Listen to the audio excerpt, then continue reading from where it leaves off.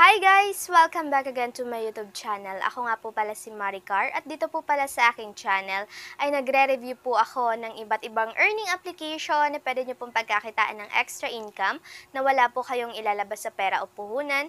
Gamit lamang po ang inyong mga cellphone at pwede nyo po itong i-cash out sa inyong GCash or PayPal account. And kung bago pa lamang po kayo dito sa aking channel, huwag nyo pong kalimutan mag-subscribe, like this video, share, and hit ang notification bell para lagi po kayong updated sa mga bago kong upload. So ayan guys, without further ado, let's go to the video.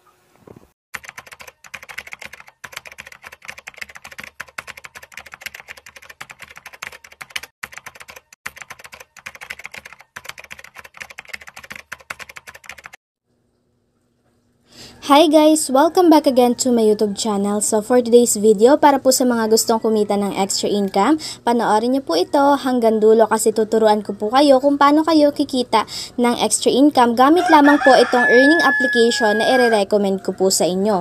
Ang pangalan po pala nito sa Google Play Store ay Tick Watch to Earn at ito po yung kanyang profile. So dito guys, meron po itong 3.8 stars, 16,000 reviews, and 5 million downloads po. Ito ito po palang application na ito ay bago lamang po. Ayan, ipapakita ko sa inyo kung paano kayo kikita dito. So, first po dito sa application na ito, kailangan po muna nating mag-login ng ating Google account. Pagkatapos po nun, is pwede na po tayong kumita dito.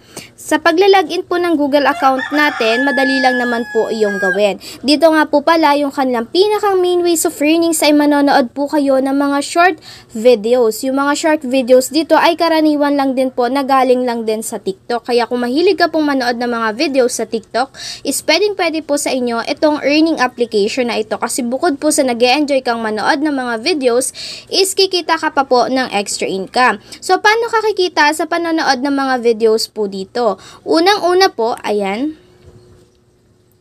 Habang nagpi-play po yung videos, may makikita po kayong timer dito. So, habang nagpi-play po kasi yung videos dito, is umaandar po itong timer natin dito na kung saan kapag napuno po iyan, is marireceive po natin yung ibibigay nila sa ating coins. So, ayan po. Ayan kung makikita nyo, meron tayong 400 coins dito sa panonood ng mga videos. Next naman po, karagdagang ways of earnings is pupunta po tayo dito sa earn page. Dito po pala sa earn page, makikita natin yung ating coin balance kung magkano nga ba yung katumbas ng coins na naipon natin kapag kinonvert natin sa peso. So dito guys, madami pa po tayong pwedeng pagkakitaan ng coins para dumagdag po sa ating coin balance. Unang-una, meron po ditong sa reward video. Ayan. Ikiklik nyo po yan. Tapos may magpa-pop up po dito na video advertisement. Manonood po kayo ng video advertisement. Tapos kailangan nyo po siya tapusin hanggang dulo para makuha nyo po yung reward coins na ibibigay po nila sa atin. So wait ko lamang po may skip itong video ads. At kung makikita nyo, ang nakuhang ko nga po na coin sa panonood po ng video advertisement is 800 coins nga po. Click ko lang itong earn more money. Tapos dito guys, meron po ditong slot. Kikita din po tayo dito ng coins. Pipindutin lamang po natin ito. And then wait lamang po natin kasi naglo-loading pa po siya. At kung makikita nyo po dito, Crazy Slots po yung pangalan niya. Pwede daw po tayo makakuha ng madaming coins dito. So, ikiklik nyo lang po yung spin.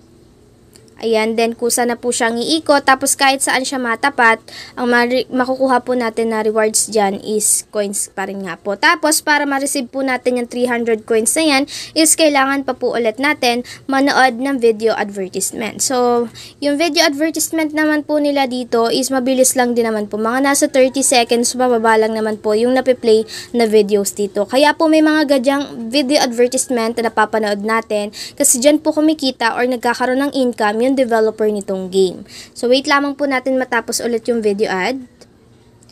And then, ayun guys, nakuha na po natin yung ating coins nga po. Tapos, kung gusto nyo pong mag-spin dito, at nakalagay nga po dito na mababawasan po tayo ng 10,000 coins kung mag-spin pa po ulit tayo dito. Kumbaga, clean lang natin kanina yung free coins na ibinigay nga po nila sa atin.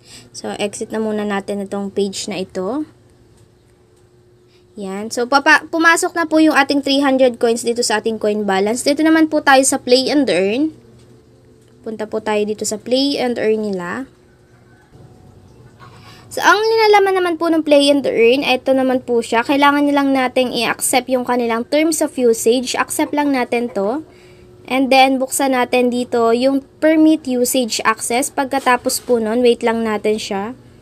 Yan, nandito na po tayo. Screenshot ko lang to for thumbnail. Dito naman po ay meron po tayong third-party game application na connected po dito sa application na ito. Ang kailangan lamang po natin gawin is i-download po itong application na nakalagay dito, yung naka-featured po dito, dito mismo sa application. Kasi dito guys, pwede po tayong kumita ng malaking amount ng coins. Ito yung pinakang recommended ko sa inyo na gamitin nyo as a ways of earnings. Kasi po dito, ang bigayan po ng coins is malalaki per minute nga po na ginagawa ginagamit nyo or nakabukas yung app.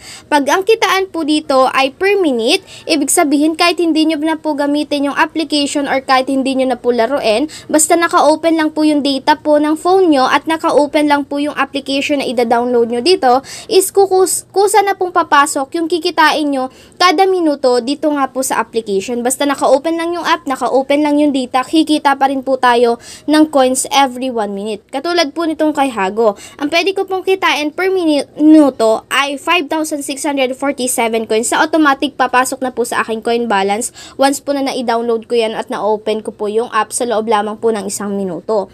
Next naman po natin, dito naman po tayo sa Easy Task. Ayan, so wait lang natin. Medyo mabagal kasi sila dito. Dito naman po sa Easy Task is meron po dito mga third-party application na nakalagay na kung saan meron po dito mga task or instruction na kailangan yung gawin para ma-receive nyo po yung mga coins na ipamimigay nila sa inyo. Kumbaga, yung third-party game application or yung application na connected dito, isa da-download natin, gagawin natin yung task. Pag natapos or nakompleto natin yung task na nakalagay doon, is doon pa lang natin ma-receive yung coins na ipamimigay po nila sa atin. Next naman po natin, ayan, madami po pala tayong pwedeng pagpilian dito na ways of earnings. Dito naman po tayo sa high reward. So, kung familiar po kayo kay Pluto app, kay Cash M, tsaka kay Cashbird, may pagkakahawig po sila nitong application na si Tik. So, dito guys, meron po tayong 8 chances para makapag-spin. Ang pwede po nating makuha dito ay mga coins nga po. Itong mga first prize, yung third prize, yung mga iPhone or gadgets po na yan, is display lang po talaga yan. Hindi po natin yan ma-receive dyan. Next naman po natin, dito sa baba, ayan, meron ditong prime bonus, eh, may prime prime task, bonus task, na kung saan itong prime, tsaka yung bonus, is mga third-party application lang din. Yung iba is Lazada, Shein, Maya, meron pa nga dyan Facebook. Ang gagawin nyo lang dyan, ida-download nyo lang yan. May nakalagay dyan na task, kukumpletuhin nyo lang yung task, at kapag nagawa nyo yung task, dun pa lang kayo makaka-receive ng coins. Kung makikita nyo nga po, yung mga coins na ipamimigay po nila sa inyo is malalaking amount din nga po ng coins. Kaya pwede nyo din po itong gamitin as a ways of earnings. Next naman po natin, dito naman po tayo sa daily. Ayan. Dito guys, kapag nakapag-complete kayo ng 5 offers or yun nga po yung task na sinasabi ko sa inyo kanina ng mga third-party application, pwede kayo makareceive ng 5,000 coins. At dito guys, kapag nanood po kayo ng videos, ang makukuha nyo nga po is 800 coins dito. Dito nyo lang siya i-click. Next naman, dito naman po tayo sa new user. Pwede daw po tayo mag-invite dito para makareceive tayo ng 10,000 coins. Dito naman po, login with cellphone, mobile login account, and earn 100 coins. Pwede daw po tayong kumita ng 100 coins sa paglalogin ng ating cellphone dito. Then dito guys, kapag naglagay tayo ng invitation code or referral code, is pwede po tayo makareceive ng 20,000 coins. At dito po papasok papasok yung way, ways of earnings nila na kung saan pwede ka pong mag-invite which is optional lang naman. Kapag gusto nyo mag-invite, punta lang kayo dito sa invite page. At makikita po natin yung ating referral code dyan. Pwede po kayong mag-invite ng dalawang option. Una, ipagamit yung invitation or referral code nyo. Or pangalawa, ipagamit yung invitation link nyo. Para po sa invitation link, pwede nyo po itong i-share. Ayan, invite now. Tapos, i-share nyo lang po ito sa inyong uh, social media account yung link po nito. Pagkatapos, kapag na-download po nila, Etong application na to, dun sa link na binigay nyo, pwede po kayo makareceive nga po ng up to 10,000 coins each friend nga po na makakapag-download itong app dun sa link na binigay nyo. At kapag invitation code naman po, yung ipang i-invite nyo dito, kailangan lang nila gamitin yung invitation code nyo at ilagay po dito sa my new user, dito sa my earn page, dito po. Para makareceive sila ng 20,000 coins at maging valid po yung pag-i-invite po natin. Para sa more information tungkol sa pag-i-invite, ayan, basahin nyo lang po ito. para malaman nyo pa po yung mga dapat natin gawin tungkol po sa pang invite nga po. Then kapag magpe-pay out po tayo, kapag meron na tayong sapat na coins, pupunta lang po tayo dito sa profile. Okay, wala dyan sa profile natin yung kanilang Ah, nandito po. Nandito po pala sa My Earn page, makikita natin kung saan tayo pwede makapag-withdraw. May makikita po kayong withdraw balance. Ayan, andito yung balance natin, yung nasa katabi lang na withdraw. I-click nyo lang yan. Then, wait lang natin. Tapos dito guys, apat yung payment method nila dito. Ayan, coming soon pa lang kasi itong tatlo na to, lalo na yung PayPal. Ang available pa lang ngayon ay GCash nga po. So, i-click natin yung GCash. Ang amount po na pwede po nating ma-withdraw dito is 100 pesos, 150, tapos may another 100 pesos nga po.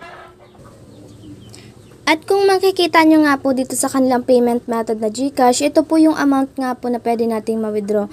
Kung makikita nyo, dalawa yung 100 pesos. Pero syempre, kung magpe-payout ka, ang pipiliin mo ito.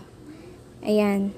Third, one, ano to, magkano to pag, ano, bilangin natin, 1 million and 399,900 coins. Kumpara dito sa 1 million and 400,000. 400,000. Tama ba? 1, 2, 3, 4, 5, 6. Tama. 1 million and 400,000. Dito naman po sa 150 is 2 million and 100,000 coins nga po yung kailangan nating ipunin. Dapat meron po ka yung sapat na coins para makapag-payout po kayo nitong amount na ito. So, dito guys, ang ilalagay po natin dyan sa screen, ayan, baka ganito kasi yung format katulad ng kay Pluto. Doon sa wallet account, kung may nakalagay dyan wallet account, syempre ang ilalagay nyo doon is cellphone number ng Gcash account nyo. Pangalawa, doon sa wallet pangalan ng account, doon sa pang, Gcash pangalan ng account po pala, syempre yung Gcash name natin sa Gcash account natin. Doon sa pangatlo, syempre syempre kung kinakailangan na maglagay tayo ng email, maglalagay tayo ng Google account natin dyan or yung email nga po natin. Tapos dun sa pang-apat, dun sa pag naghanap sila ng numero ng telepono, syempre ang ilalagay nyo kung ano yung nilagay nyo sa wallet account. Pero dun sa numero ng telepono, tatanggalin nyo yung zero doon sa unahan ng cellphone number natin dito. Dito guys, umaabot po ng 7 working days bago dumating yung ating na payout sa ating GCash account, bago dumating yung pera. Sa 7 working days po na yon not counted ang weekends and holidays nga po. And then dito guys, sa 100 pesos or 150 pesos na mape-payout po natin, meron po siyang 10%, 10% rate na kung saan matcha-charge po dun sa payment natin. Kumbaga, may bawas po or may deduction lahat ng mga mape-payout natin dito. So, halimbawa, 100 pesos yung na-payout nyo. Ang dadating na lang po sa Gcash account nyo is nasa 80, nasa 87 or nasa 90 pesos. Kasi may bawas nga po yan every transaction nga po dito na ipi-payout nga po natin.